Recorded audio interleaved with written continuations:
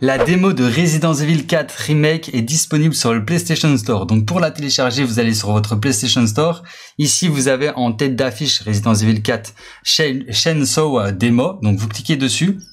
Donc là, quand vous allez cliquer ici, ça ne fonctionnera pas, vous n'aurez pas la démo. Il faut absolument aller sur la page de jeu de Resident Evil 4. Donc regardez, là je sélectionne la page de jeu. Ensuite, je clique sur les trois petits points. Et là, je peux télécharger euh, Resident Evil 4 Chainsaw Demo PS4 et PS5. Donc je clique dessus. Et là j'ai la démo, donc je la télécharge, c'est gratuit. Et euh, franchement c'est une dinguerie. Donc voilà, alors là je vais choisir la version PS5. Parfait. Et c'est parti, elle fait 10 Go.